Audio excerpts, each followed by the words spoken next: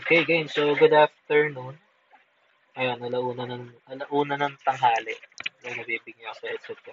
So, tawag dito, um, yung topic natin dito sa module 3 is hypothesis testing. So, ano ba itong hypothesis testing na to?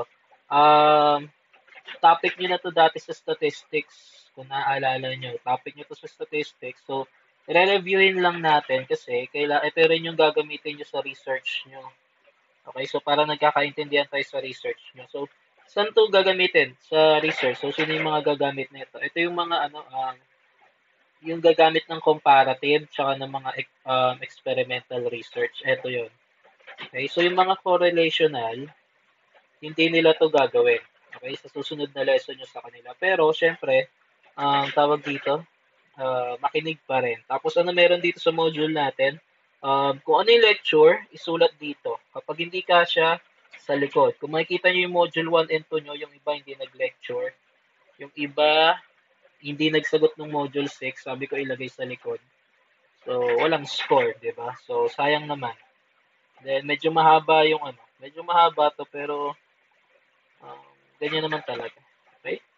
So, simulan na natin. So, um, yung PowerPoint presentation, hindi sa akin to. So, pinahiram sa akin or binigay sa akin ni Sir Deliena or Doc Deliena um, professor ko nung college. So, binigay niya. So, una, anong nga ba hypothesis testing? Um, ginagamit to is used to mean a statement about one or more parameters of population or population. So, ginagamit to para ma ma-justify, masabi mo talaga or ma-prove mo talaga yung isang statement. Ano pa yung sinabi? It is a procedure consisting of per pertinent step whose major objective is to make a decision based on the gathered data. So, yung kagaya na sinabi ko kanina, um, para makapag-conclude ka, gagamitan mo na ito, hypothesis testing. Kasi hindi mo naman pwedeng sabihin na mas magaling si grade 12 kesa kay grade 11. Di ba? Porque lumamang lang ng isang puntos, mas magaling na. Di ba? So, hindi. Gagamitan natin ng statistical test para ma-confirm natin na effective talaga siya. 'Di ba? Kaya naman um best example niyan yung COVID-19 vaccine. 'Di ba? So ano yung nangyayari ngayon? So um sabi nung sabi nung isang pharmaceutical company, um 90% effective daw sila. Okay, 90%. Okay? Effective. So, hindi porke 90% effective ka na, um, statistically, okay na. 'di ba? Hindi porke 70% gumaling, pwede na. Hindi porke 50% gumaling, pwede na. Diba? So, ginagamitan lahat yan ng statistical test. So, unang step is yung null and alternative hypothesis. Na-discuss na natin yan, hindi ko na masyadong dadaanan. Okay? So, ito yung mga example niyan. So, ano ulit yung null? Kadalasan si null, ito yung salungatan niya, equals. Yan yung pinaka-basic niya. Eh equals. Ano yung kasalungat niya sa alternative? Not equal.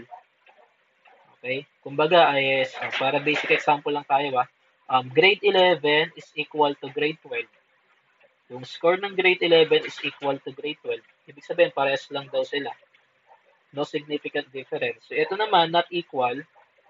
Um, not equal is magkaiba. There is a significant difference. Pero hindi natin alam kung yung isa mas mataas, yung isa mas mababa. Kaya meron kang ganito.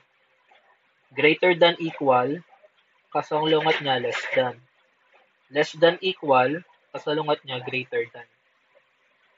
Yan yon. So, ito, sinabi dito, kunwari, ang mas magaling si grade 11 kaysa kay grade 12.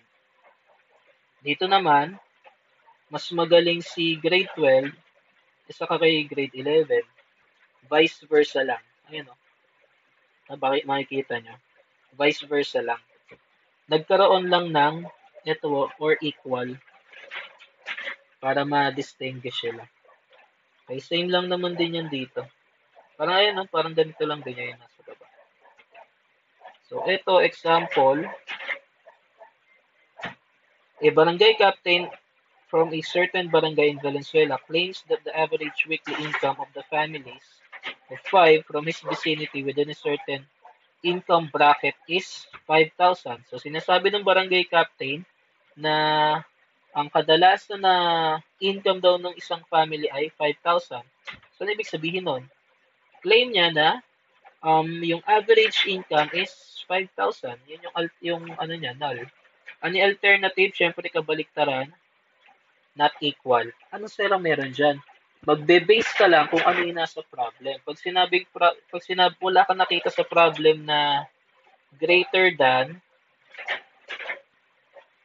or more, diba? Or less than or less, equal not equal lang yun. Basta wala ka nakitang ganun. Okay? So, sample number 2. Um, supposing that barangay captains to the average weekly income families Ayan, greater than.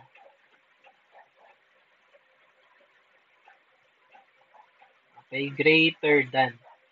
So, ibig sabihin, susundin mo yung ano, susundin mo yung problem. Ano yung sinabi dyan? Ayun, no? greater than 5,000. Kaso nga lang, yung greater than na yon is alternative yon Ano yung kasalungat niya sa um, null hypothesis? Ayun, no? May kasalungat siya, di ba? Si greater than kanina. Ito, oh. Diba? Ano yung kasalungat niya? Ayun, less than or equal. Kaya dito, ayun, no, less than or equal na yung ginamit. So, isa lang, dalawa lang lalabas sa research mo. It's either greater than 5,000 or less than or equal ng 5,000. Okay?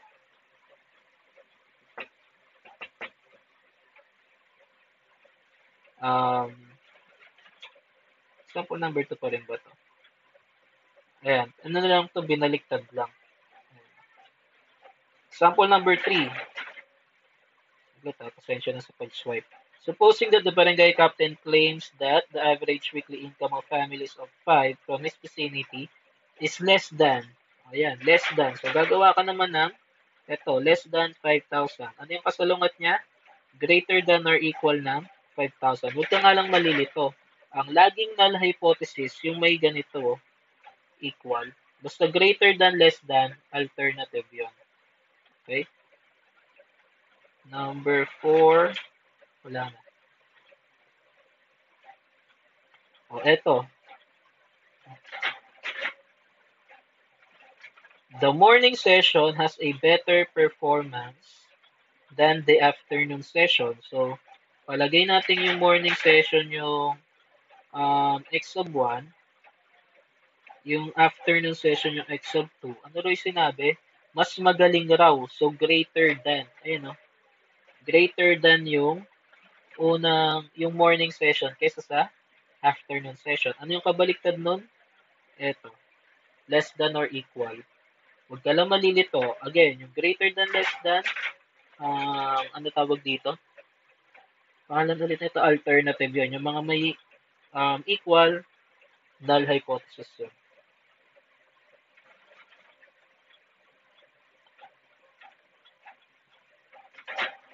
O, sinabi naman dito, um, poor performance, less than. Kaya yun, no? less than na yung ginamit. So, ano ba yung less than tsaka greater than? Yung greater than, yung nakatapat sa kaliwa dun sa nauunang statement. Pag nakatapat sa pangalawang statement, less than. Okay? So much for that.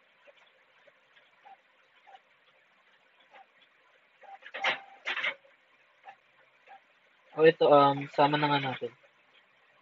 The class does not exceed a performance of 100. Hindi daw sila lumampas ng 100. So, ano ibig sabihin nun?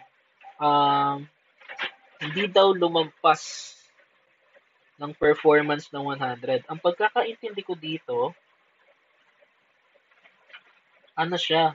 Ayun, does not exceed the performance of 100. So, 0 to 100 siya. Tama. So, ano ibig sabihin nun? Um, less than or equal sa 100. Yung mean yan eh. Mean yung average is less than or equal to 100. Ito, i-disregard muna natin. Okay? Less than or equal to 100. Okay? Ano yung less than or equal? Of course, um, null hypothesis yan. Null, null, null. Ayun na, iba na rin to. Baka nagka-typo error lang. Alternative hypothesis, syempre, yung average is greater than 100.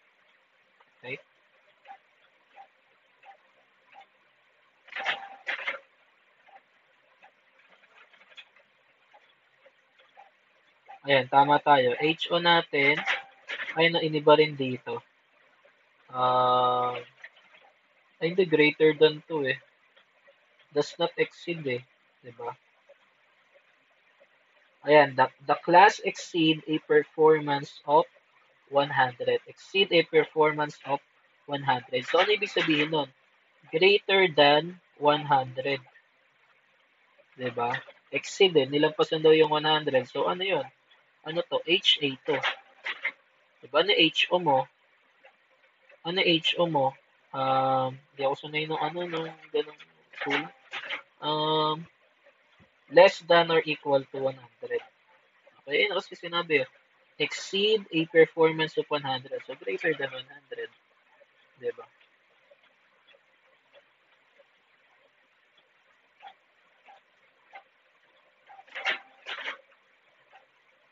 Ito, so, number 2, ito naman, um, tapos na tayo sa step number 1, anim na step to, mahaba to.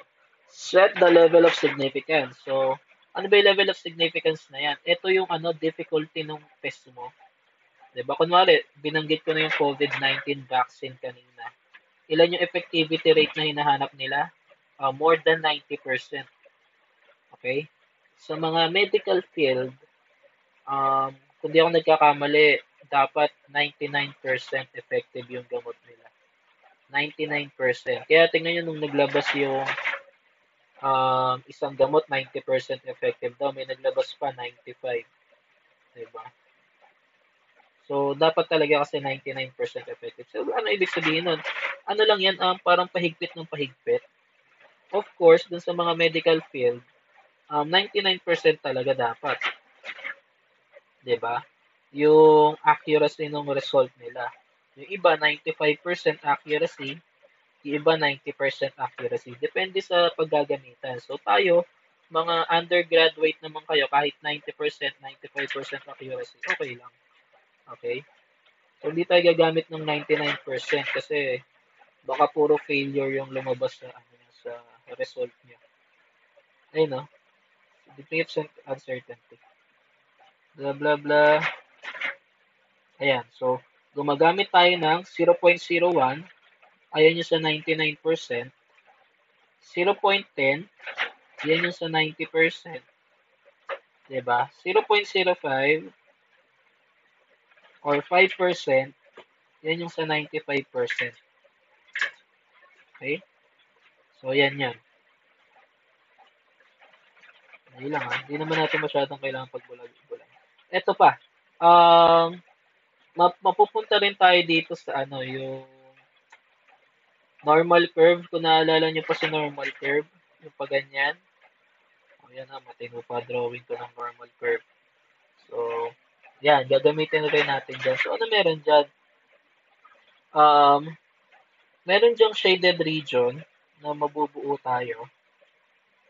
Yung shaded region, pag dyan lumabas yung resulta mo, kuwari, dyan napunta yung resulta mo, dito napunta, ano ibig sabihin yan? Yung shaded, then yung area of rejection. So, ano ibig sabihin? Reject HO. Pag dito naman, sir, napunta yung resulta, ano ibig sabihin? Walang shaded region. Area of acceptance. Ano meron dyan? Um, accept HA. Okay? Yun ang ibig sabihin yan. Madadaanan natin yan. Makikita nyo yung mga normal curve. Ayan. Kung one-tail test yung gagamitin mo, sila na yung one-tail test. Um, ginagamit yan sa yung mga hypothesis na equal ay, hindi, hindi, hindi.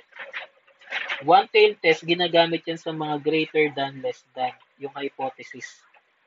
Diba? Kanina meron tayo hypothesis. Pag greater than, less than yung hypothesis mo, one-tail test. Okay? So, ayan yun, no? So, mamaya, pag lumabas sa uh, resulta nyo is 2.33 and above, um, area of rejection. Kapag dito naman sa kabilang side lumabas, area of acceptance. Okay? So, tatandaan nyo yung mga value na to. Ayan yung mga tatandaan nyo na value. Okay? Kung hindi ako nagkakamali, ang turo ng professor namin sa masteral, ito, ginagamit kapag um, greater than. Ito ginagamit kapag um, mali, mali. Less than. Okay? Hindi ako nagkakamali ah. So, pero ano naman kasi yan eh. Um, sarili nyo tong research, hawak nyo yung variable. Pwede nyo pagpalit-palitin yung mga variable kung tutuusin eh. Diba? Ido-double check naman natin. Ma.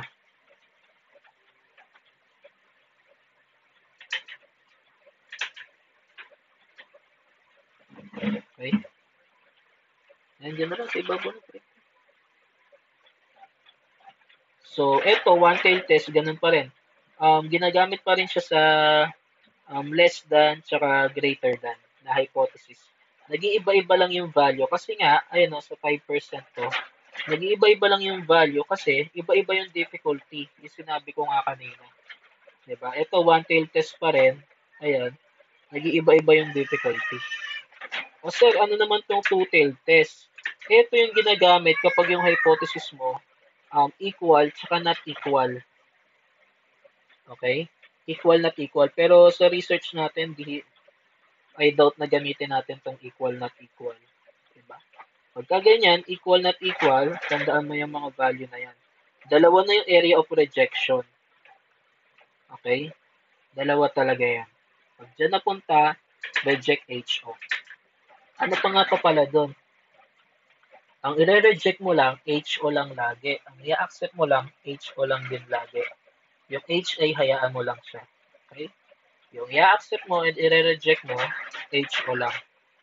Accept or reject. Oops, sorry. HO only. Okay? So, Step 3, ayan, z-test tsaka t-test. Nandito naman yan eh. Ayun lang ha. Ayan. Si z-test, tama ba ako? Ayan o. Oh. Dito naman pala. Greater than or equal to 30. It requires the normality of the distribution and sample size should be greater than or equal to 30. Ano ibig sabihin niyan, sir? 30 pataas. Okay? Kapag 30 pataas yung respondents mo, ano gagamitin mo? Z-test. Sa research nyo, kadalasan, respondents nyo, 30 pataas naman. ba? Diba? Kaya Z-test talaga yung gagamitin. Okay? Oh, pag z-test, ito yung formula. Sir, ano yung one sample mean? So, one sample mean kapag isa lang yung um, kino-compare. Pag isa lang yung kino-compare, kagaya nung kanina, yung cannot exceed 100, yun, ganun yung one sample mean. Kapag two sample mean, kapag kino-compare na si grade 11 tsaka si grade 12, yun yung two sample mean. Yung one sample mean, kagaya ng una example na, um, can, ay hindi naman una example. Example kanina, yung cannot exceed 100, yun yun, yun yung kagaya ng one sample mean. So, sample mean, ayan yung gagamitin. T-test, ayan, less than, ako po, inang, less than 30. Wala yan, ma, ako nabala.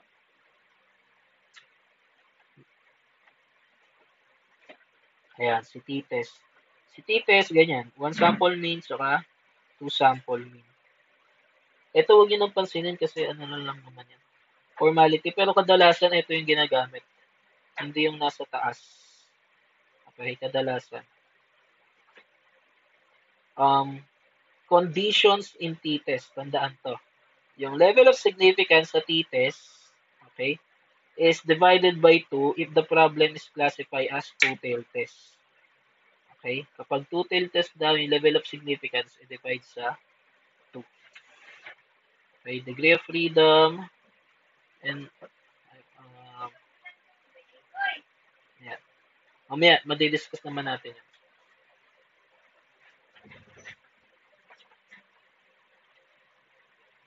One tail test. Ayan. Yan, wala lang yan. Ito yung kanina, yung dinidivide sa 2 kasi iba na yung level of significance. Hindi ka nagagamit ng normal curve kapag um, t-test yung gamit mo. Okay? Hindi ka nagagamit ng normal curve. Dito ka nakukuha ng uh, ano, level of significance. Okay? Ito sa decision, hayaan na natin yan mamaya. Um, pero ayan, kung gusto nyo i-screenshot o isulat, ayan naman. Okay? So, ito, ito maganda. A supplier sells ropes. He claims that the ropes have a mean strength of 34 pounds and a variance of 64 pounds. A random sample of 32 ropes selected from a shipment yields a mean strength of 31 pounds. Are you going to reject the claim of supplier at 0.05 level of significance? So, ano sinasabi dyan?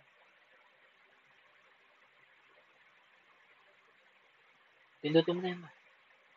Ano sinasabi dyan? So, yung supplier daw, kine-claim niya na yung lubid niya ay may strength na 34 pounds. Okay? And variance of 64 pounds. Yun nga lang, nung kumuha ng sample, 32 sample yung isang, ewan natin kung sino yung kumuha, ang nakuha lang nilang strength is 31 pounds. Okay? Masasabi ba natin na totoo yung sinasabi ng supplier na 34 pounds talaga yung um, strength ng rope nila? Okay? So, una, ano yung step natin? HO tsaka HA. Tama? Ano yung claim dyan? Ayun no? Equal to 34 pounds. So, yung mean niya is equal to 34 pounds. Tama? HA mo, not equal to 34 pounds. Okay? So, tingnan na natin. Ayun no? Equal to 34 pounds Grabe ang haba. Ayan. Ito, ibahin natin ha. Not equal yan. To 34 pounds. Level of significance, sinabi na dito kanina, ang level of significance mo ay 0.05 or 5%. Sensor nyo na, hindi, hindi na na-edit yung ano, yun, 5%. Statistical test, z-test kasi uh, more than ano, more than 30. 'Di ba? Classification niya, one sample mean. Kagaya nung kanina, yung ito yung cannot exceed by 100, eh, sample kanina ganun. Um, directional hypothesis. Hmm? Directional. Pero hindi na to kinukuha, hayaan nyo na to. Ang, ang mahalaga dyan, oh, hindi rin one tail test to. Two tail test gagamitin natin two-tailed test. Critical value. O sir, saan paano kukunin yung critical value? Balik tayo dito. Two-tailed test.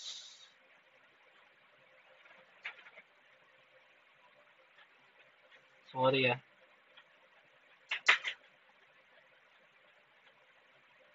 Ayan. Two-tailed test na 5%. Ayan o. Oh. 1960 positive, negative 1.96.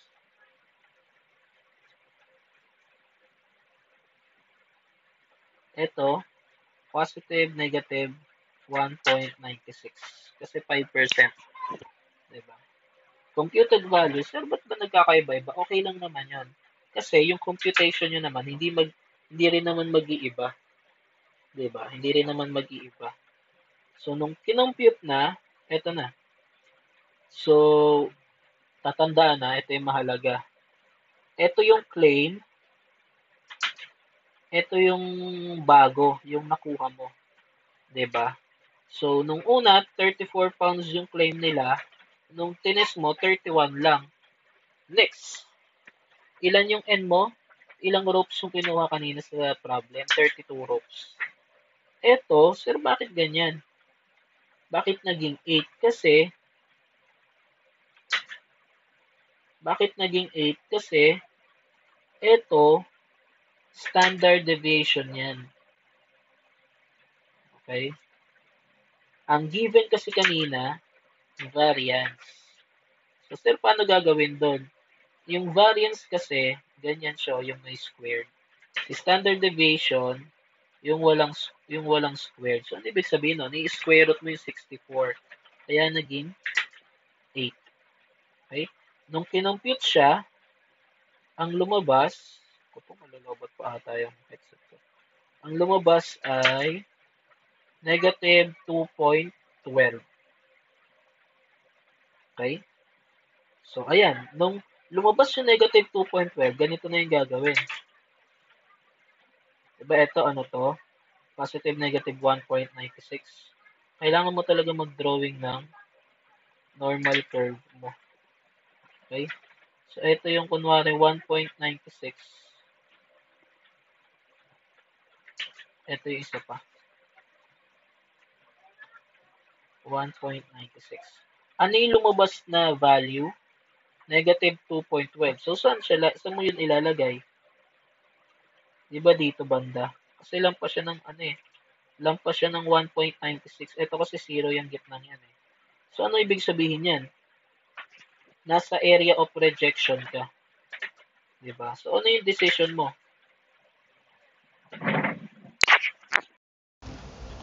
Okay, so ano yung decision mo? Decision mo dyan ay, andito na, ano tayo, area of rejection, di ba? Since the computed value is 2.12, is greater than, o oh, iba to ah, 1.96, positive, negative, therefore, ayan, reject HO and accept HA. Okay, yun yung decision mo. Ano yung conclusion mo? Ayan, i igagawin mo lang words to. The mean strength of the rope is less than, ay hindi yan. The mean strength of the rope is hindi less than, not equal. Kasi in-accept natin sa HA. Ito oh. HA natin kanina not equal, di ba?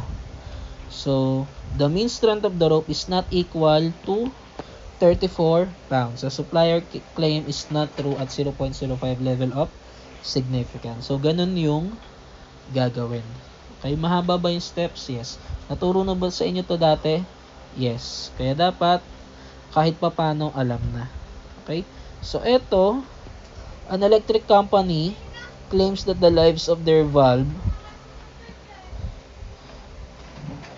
if manufacturers are normally distributed with a mean of 1,000 hours and a standard deviation, ayan, standard deviation na yung binigay. What can you say about this claim if random sample of 100 bulbs produced by this company has a mean life of 980, use 0.00, use 0.005, use 0.05 level of significance. So, kagaya lang nung kanina, ang claim ng company uh, ah, 1,000 hours yung ano niya, yung tinatagal. Yun nga lang, nung tines, 980 hours. Okay? So, ano yung mangyayari? Diba? So, try natin. Mag-jump na kagad tayo dun sa medyo malayo na. Okay? So, ito, ayan, ang gagawin mo dito, ito, not equal ulit. Okay? Not equal ulit. 0.05, sinabi kanina sa problem, z-test pa rin siya kasi mara, more than 30 yung inano niya, yung sample natin. One sample mean pa rin, pero ito mali pa rin. Two tail test pa rin tayo. Okay? So, titingnan mo na lang dun sa um, ito kagaya lang din yun nung kanina. 1.96. Kasi two tail test na 5% eh. 'Di ba? So pag kinompute kagaya lang nung kanina, ay no, hindi na binago yung 150 kasi um, standard deviation na to. Kanina variance kasi yung given. So ang lalabas negative 1.33. So pag drawing mo 'yan, okay. Negative 1.96, 1.96. Nasaan yung negative 1.33? Nandito lang yun, no? Hindi siya umabot ng ano, hindi siya umabot ng um, 1.96. So, ibig sabihin, ano ibig sabihin yan? Accept HO. Okay? Ayan, no? Fail to reject. So, ibig sabihin, accept HO. Okay? Inaccept niya si HO. So, ibig sabihin yan, ayun, no? Accept HO tayo. Ito si HO. So, ano na ibig sabihin yan? Gagawin mo lang into words. The mean life of the bulb is equal to 1,000 hours. The company claims is true at 0.05 level of significance. Hanap tayo ibang problem. Hanap tayo ng 2 sample mean.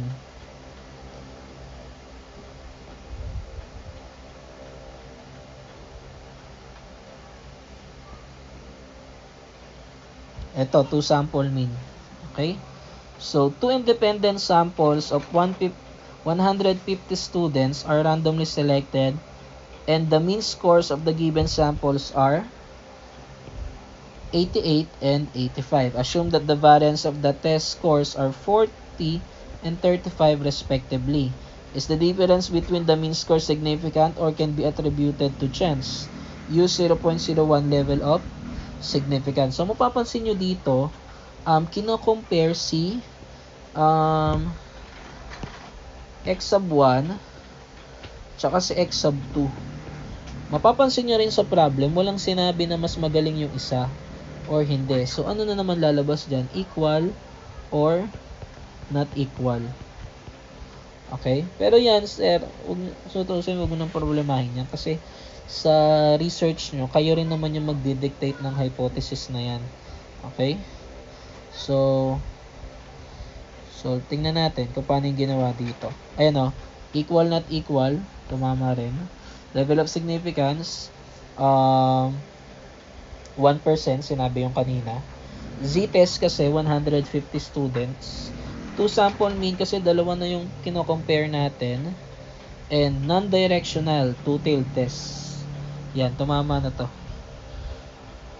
Ito yung critical value. Ma malayo eh. Huwag na natin balikan. And then, ayan, computed value.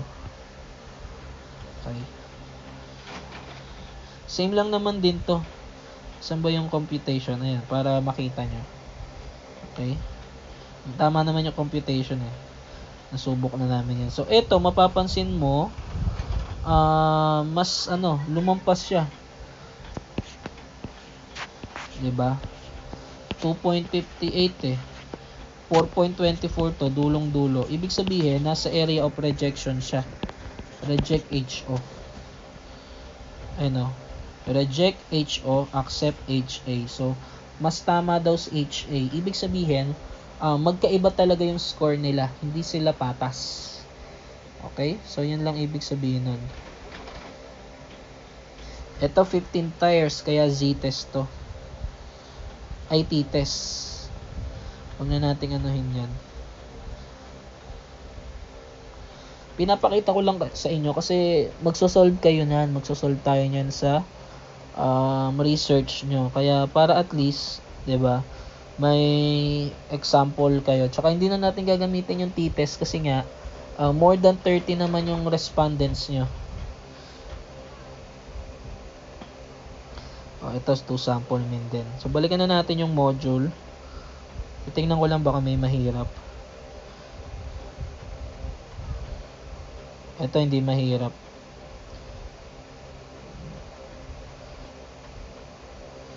Ito, ay hindi. Random samples. Oh, ito palitan natin ha, kasi magiging t-test to eh. Palitan natin ng palitan natin ng 40 para maging ano siya, z-test. Tignan ko rin yung iba.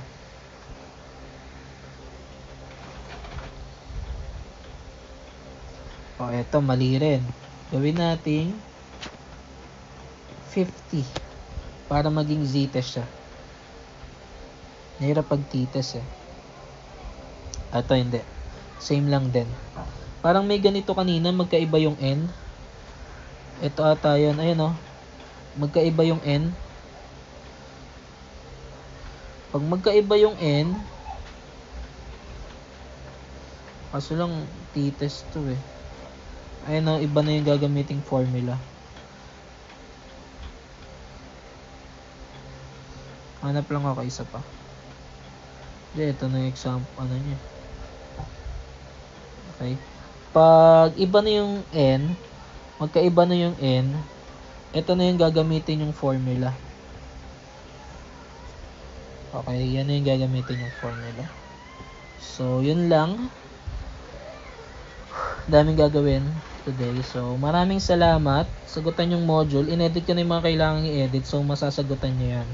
Pag hindi kasya yung lecture, isulat sa likod. Ha? Hanapin ko yung lecture na yan. And sinabi ko na last time, um, isa sa requirement is yung compilation ng module.